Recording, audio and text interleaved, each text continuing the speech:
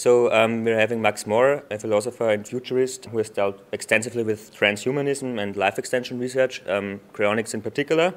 So let's ask directly, Max, what do you think about death? I think it's a pretty awful thing, and it's a problem that we should do something about. It's something that we've been stuck with throughout our history, and because of that, people will rationalize uh, the value of death, they think is a good thing because that's what they're used to. And if you're used to something, you have to find a reason why it must be good because otherwise it's pretty unbearable. So a lot of people, when we talk about the idea of doing something about death, about extending life, they say, oh no, you mustn't do that because death gives meaning to life or uh, without death we'll become bored. All of which is complete nonsense and just a complete rationalization. I think death, uh, involuntary death, is a horrible thing. Uh, it should be something you can choose if you want. If you've decided after 100 years or 1,000 or a million that you've had enough, that's your choice, but it shouldn't be imposed on us. Yeah, I completely agree with you. So, um, what caused you to get into the transhumanist and longevity community actually? What was the cause? Well, it's always hard to say that, really. It's almost like I have a gene for it in some sense. Uh, since I was very young, I've been interested in well, well, space since I was about five years old, watching the Apollo landings. I've always been interested in technology in the future. By the time I was in my early teens, I was already taking supplements, and by the time I was 16 or 17, I was interested in life extension. This was you know, way back, um, you know, before 1980. So it was a very natural thing for me, uh, always questioning limits. Why are we stuck on this planet? Why are we stuck with aging? Um, so I kind of uh, reading all these different ideas, I put together the idea of extropy, which is a form of transhumanism, and essentially got the transhumanist go movement going. Um, because to me, it has all these, the common element of all these different things like space, life extension, augmenting the brain, they're all about overcoming limits. Uh, nature has given us these amazing brains and bodies, which are fantastic, but they're also highly limited. And there's nothing sacrosanct about their capabilities. It's just an accident of nature and evolution. So why shouldn't we work on improving them? Yeah. So um, you mentioned you started taking supplements at a very early age. Mm -hmm. So what are you doing right now actually to, um, to, to stay healthy and age as slowly as possible in terms of supplementation, in terms of diet, sleep, or longevity treatments uh, which are available right now, or basically anything else? Yeah, there's nothing really today that will extend maximum lifespan. Uh, a lot of people have claimed this, but in my talk tomorrow, I'll be having a very long list of all these theories of aging, all these interventions. Nothing really works for human beings. I mean, maybe with uh, you know, calorie restriction, you might reduce the risk of certain diseases, maybe you live a little bit longer, but all these things that work so well in mice and other animals don't work so well in humans. So it's a little bit depressing at this point. point, and I've been following this for you know, four decades or so, and we really haven't made much progress. So currently, it's kind of boring. The best things you can do are diet, exercise, get enough sleep, uh, have a good, strong social circle. All, kind of boring, non-tech things, right? But today, that's the best thing you can do. Now, there are some new things. There are things like rapamycin and uh, maybe experimental gene, gene therapies but uh, those are not really well developed, not really well proven. So we're still in the kind of research phase and figuring out how these things work. And only in the last few years has much money been going into, into supporting this research. So although I haven't seen much progress in 40 years, in, in, in effect, I'm hopeful that in the next few years, especially with artificial intelligence perhaps kicking in, helping us to discover things faster, maybe we'll make progress. We better because I'm in my 60th year now, and I'm not looking forward to getting a lot older. Right, so we clearly need something better than what we have now. So um, tell us, what actually is the rationale for cryonics? Why is it supposed to work? Well, the idea of cryonics is that, uh, well, right now, since we don't have life extension technologies and we don't know when they come about, it makes sense to have a plan in place. I call it plan A, some people call it plan B, but this is your backup plan. If we don't make it, um, it'd be nice to see the future. So the idea of cryonics basically is uh, we take someone at the point of legal death, which is not biological death, it's not real death, uh, it's really the point where a doctor gives up on you because today's medicine can't do anything more for you. And then realizing that death is not, is not a point, it's not something that just happens, it's a process, a gradual process, which is why we can revive people often after uh, minutes or even an hour of clinical death in some cases. So the goal is really to press the pause button on dying, that stop the process, stop you getting worse, and the way we do that in cryonics is by storing you at extremely cold temperatures uh, minus, uh, 196 degrees Celsius. Now, it's not that simple. There's a lot of things we have to do. We have to remove the blood from the body and from the cells and replace that with a, a vitrification solution. So instead of actually literally freezing, uh, the solution just becomes thicker and thicker and holds the cells in place. And so once you've done that, you can then store the patient at that extremely cold temperature, and it doesn't matter whether it's going to be a year or 100 years, you essentially be in the same condition. And given all that progress, it doesn't seem implausible to me that if you preserve the person well enough, we will eventually have technology that can reverse that process, undo the aging process, and let you carry on living. So it's a bit, by being in a, a bit like being in a coma in a sense, except with no metabolism. You'll wake up with no idea of how long has passed and be able to continue living.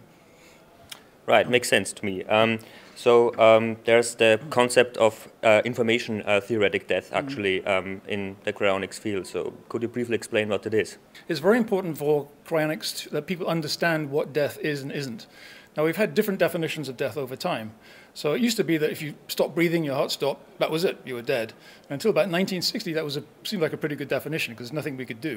After 1960, we started inventing uh, resuscitation methods. Actually, we've done these for centuries, but they just weren't very good. People used, used bellows to pump air into people's lungs and that kind of thing. Um, but we found that, uh, you know, using CPR, pumping on people's chests, giving them electric shocks, various other methods, can actually bring people back from what was considered death. So whereas in 1960, you know, if that happened to you, we just said, that's it, he's dead. Now we say, no, we need to do something about this, otherwise clinical death, which is really just a cessation of heartbeat and respiration, will become biological death. So we have clinical death, which is just the heartbeat stopping and breathing stopping. We've got legal death, which is really a kind of arbitrary thing that the doctor says, I declare you to be dead. Well, they can choose when to do that. They can maybe even resuscitate you, but maybe it's not worth it. There's biological death, which is when the cells uh, decay beyond a point that with today's technology we can revive. But even that's not real death. The idea of information theoretic death is, well, what makes you the person you are? What makes you survive over time? Our view is it's basically the structure of your brain that holds your memories and your personality. So long as that's sufficiently intact and could be revived by future technology and repaired, you're not really gone. So you're not alive, obviously because you're not functioning, but you're not dead either. And people have a hard time with that concept. If you're not alive, you must be dead. Well, no. You know, we have nighttime, we have daytime, but we also have twilight in between. So it's a little bit difficult for people to understand. But uh, yeah, death is, is, is a gradual process. If you can stop it early enough, then you know, who knows what the future can bring. Right, so we've heard about the principles behind cryonics. What, to your mind, are some problems with um, cryonics um, that still need to be solved? There are some technical problems and there are practical problems. The practical ones are pretty tough. Uh, to do this properly, you really want to be there at the bedside when legal death is declared. That's by far the best process. In fact, ideally, and you can do this now in some jurisdictions in the US and elsewhere, people can actually choose when they want to go. If, if they're terminal, they can say, I want to go, and you can, you know, they can inject themselves with something that will stop their heart functioning.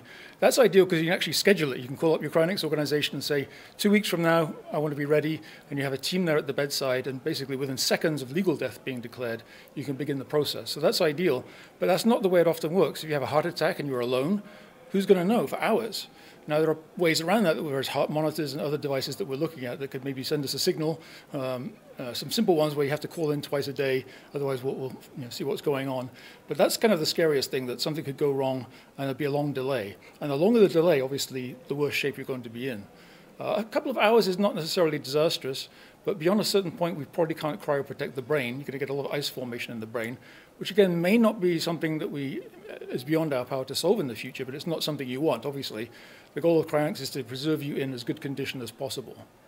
So the earlier we do that, the better. So that's kind of a practical problem. You know, a few decades ago, basically, we didn't know how to vitrify people. Vitrification is the idea that instead of forming ice crystals, you, you change the water out and you replace it with a uh, basically a glycerol-based solution, but there's much more modern variants of that. Uh, in the early days, we didn't have very high concentrations, and these solutions were pretty toxic to cells. So you were, the benefit was you were reducing ice formation, but the downside was there's a lot of toxicity. Uh, so over, over the years, those solutions have been improved considerably, uh, which is why today we're seeing increasing advances with organ preservation. Um, uh, just a few weeks ago, there was announcements on rat uh, cryopreservation of organs, rat kidneys, rabbit kidneys that are being cryopreserved. So, and of course, there are many people walking around today who are cryopreserved as embryos. Uh, so we've made a lot of advances, but we need to keep pushing that to minimize the toxicity and keep improving it. Uh, the big problem really with cryonics right now is people say, have you brought anybody back? Well, obviously not, because while we can cryopreserve corneas and heart valves and skin, these are individual tissues which you can rewarm pretty rapidly, which is what you have to do. There's this weird phenomenon which sounds kind of counterintuitive called uh, recrystallization. So as you warm someone up, ice crystals can actually reform and cause a lot of damage. So you have to re rewarm extremely rapidly. And with these tissues, they use uh, radio frequency rewarming, nanoparticles, methods like that. But scaling that up to even like an individual kidney or a heart is quite difficult. And for a whole body, it's just something we can't do today. Now, of course, it doesn't mean we can't do it in the future. We keep making progress, but it will take some time. So cryonics is really two things. It's get the person preserved today, and then sometime in the future, that's revive them, fix the cells, and bring them back. We can't do that part today. We can start working towards it with nanotechnology, but we can do the first part. And that's okay, because we have time once you're at that temperature. Right. Another objection that uh, people have come up with um, is like, um, well, if, if they decide to sign up for cryonics, um, sign a contract, how can they actually be completely sure that they won't be used as um, guinea pigs um, to test uh, the technology to, to revive people. Of course, you could say that this technology, you know, will only be used when um, it, it's proven to work properly for humans. But how would you know that this is the case when you've never tested it on a cryopreserved uh, human being? Well, I think that's kind of an extremely implausible scenario for a couple of reasons. One is that, first of all, ethics committees wouldn't let you do that. You get into a lot of trouble, be put in prison. So, I mean, it's kind of ludicrous to start with. Plus, of course, we're going to test this on animals, first of all. We, we already have, I mean, I have, my dog cryopreserved.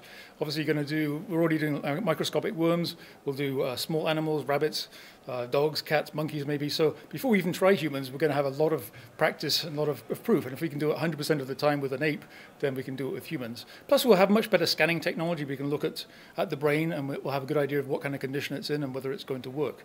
So, there has to be someone who goes first, obviously, but I think by that time we will have a pretty good idea that it's going to work. Certainly, the kind of science fiction scenario that they're going to bring you back to take your organs is ludicrous because we'll be growing organs and having artificial replacements. Right, um, and maybe another um, concern that some people have um, when, um, like for example, I talk to them about cryonics. Um, how can one be sure that a cryonics company won't stop operating in the future? So there would be absolutely no chance of revival if the company, you know, just decides to stop operating. Well, it's not quite true. Uh, it could be that another organization takes you over. It's like companies go bankrupt. That doesn't necessarily mean all their assets disappear. Mm. They may transfer them, have them bought up by someone else. And that's not very well organized right now, but I imagine that there'll be better agreements among organizations. But yes, it's certainly a valid concern. Uh, all I can say is that in the early days of cryonics, in the 1960s, uh, there are several organizations went under, they, they, they, failed. But we've learned a lot since then. For instance, we know that we can't rely on relatives to pay for you for decades. They're not going to do that. So uh, cryonics organizations these days require that you pay up, up front, basically with life insurance or a trust fund. Otherwise, it's asking for trouble. Uh, the Alcor Foundation has been around for over 50 years now, so it's a pretty good track record, and it's a non-profit organization. And if you look at the oldest organizations in the world, they're all non-profits. They're religious organizations, they're universities, that kind of thing. Uh, my university's been around for like half a millennium. So hopefully, if we organize it right, then they can survive for the long term. Uh, Alcor, for instance, uh, is currently fairly unique in this in they, when you pay for the procedure, they take a big chunk of that money, put it aside in a separate trust fund with its own board of directors. It can't be used for any other purpose other than to, to, to keep them cryopreserved and eventually revive them. And the amount they put in there is calculated to never run out, even with a modest investment. So yeah, we thought about this pretty carefully, and so far, after 50 years or so, it seems to be going okay. But yeah, there's no guarantee, obviously. Maybe the government will decide we're going to ban it, or terrorists blow up the building. I mean, there's no guarantee if it is reasonable to get uh, cryopreserved, um, why do you think are so few older people interested in it? It's a mystery. I mean, it's, it's uh, there's a number of reasons. First of all, most people haven't heard about it. And it's hard for me to believe that because I've given hundreds of talks and interviews, and you know, how can everyone not have heard about this? But many people don't even know the idea, or if they do, it's kind of a vague science fiction idea they saw in a movie. They don't think it's a real thing. So that's the first obstacle. We have to educate them that it even exists. And then when they do hear about it, they have a lot of misconceptions about it. They think it's, uh, you know, they think you're going to be a zombie or something. I mean, I don't know what they think. Um, but there's a couple of big problems. Uh, one is like a, an embarrassment factor that it's an unusual idea. It seems a bit strange and weird to people. It's not commonplace. It's not normal. So many people, I find it hard to relate to because I don't care what people think. But most people do care what other people think, what their family or friends. If they think you can do something strange, then they kind of shy away from it. That's actually a very strong force. It's hard for me to appreciate, but it's real. Um, another one, I think, a big obstacle. There's two big obstacles. Uh, one is uncertainty. People hate uncertainty. They want to be very sure about things. They're very sure of their own opinions, that they're right about things. Uh, they tend to be very strong in their belief about an afterlife. Either there is one or there isn't. If there is one, well, why do we need cryonics? If there isn't one, well, that's a good thing because death gives life to meaning, gives meaning to life and so on. So people got to settle themselves with that. And along we come and say, well, you know, there might be a possibility. I'm not guaranteeing anything. It might be possible to bring you back at some point in the future. I don't know when. That's not very good sales pitch. They don't want to hear that. So you know, we could be dishonest and say, oh, we guarantee it. We'll bring you back on February 1st, 2086. And we probably get a lot more people being interested because that's what they want. But we don't have that. So that's another big problem. Another one is that uh, most people, the vast majority of people probably, have a very negative view of the future. You know, they're bombarded by science fiction that has Terminators killing humans or you know, Mad Max wastelands or viruses you know, killing everybody. So that's what people think of, or, or global warming boiling the planet. You know, everybody thinks, everybody has this view of the future as a horrible place. Whereas to me, that's extremely implausible because the most plausible way to think about the future is to look at the past and project the long run trend. And the long run trend is very clear. Despite what you see in the newspapers, this is the best time ever to be alive. And people just don't believe this. But go back and live in the past for a while and you'll see what it's like. I mean, just go back to where you didn't have anesthetic, where you didn't have antiseptics, and you die from a you know, toothache or an infected tooth. Uh, when women didn't have the vote, when we had slaves. I mean, it's ridiculous. The past was a horrible place. Today is, you know, we have our problems and we exaggerate our problems, but this is a good time. We live longer than ever, we're wealthier than ever, we're freer than ever.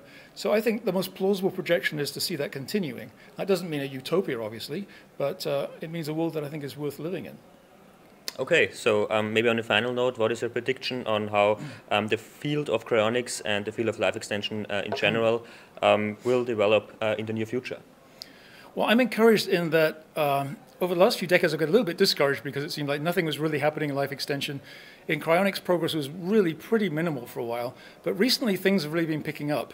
In life extension, obviously, there's now a lot of interest um, in funding this, not only from wealthy people, but places like Harvard even are putting money into this.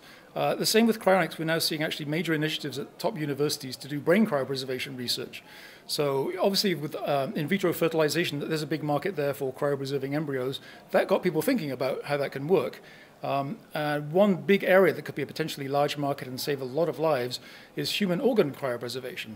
Because right now, you know, in, just in the US alone, tens of thousands of people die every year because they need a new heart or liver or pancreas, and you've got to ship it from one side of the country to another on ice. And in many cases, the tissue match doesn't work or it's too late.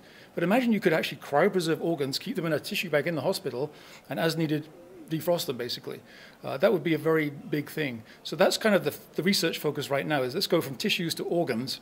And if we can solve that problem, well, it looks like we're getting there again with the rat and, and rabbit kidney research. It looks like we're actually on the edge of succeeding. So that makes me a little more uh, optimistic that we can make this work. To me, the most important part is the brain, and that's an organ. I don't actually feel like I need to preserve the whole body. This is all replaceable. You know, with, with uh, reinstructing the genes, we could grow a new body and new hands. But the most important part you can't replace is the brain, because that wouldn't be me. So I'm getting more optimistic that we can actually solve these problems. Uh, for life extension, though, I'm not as optimistic as some people at this conference might be. Um, again, I've been watching this for 40 some years, and I'm now in my 60th year. I don't know how much longer I have, so we need to make faster progress. So this is why I argue that you should put cryonics in place first, because that's something you can do today. You know, you can't take fantastic gene therapies that don't exist, but you can do cryonics. So do that first, and then decide uh, what new therapies you might take in the future. Great, Max. Thanks for your time. Well, thank you.